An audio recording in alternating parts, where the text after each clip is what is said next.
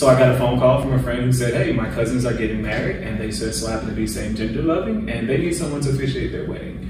And they were really intentional about who they wanted to select. They wanted someone with some type of ministerial background, but at the same time, not um, this harsh mentality that often comes with church life and individuals who represent the institution. So they asked me, and um, they allowed me to have a conversation with them, and we started off just talking. I'm really intentional about who are you, what y'all got going on, and wanting to really ensure that love is really what they wanted to do.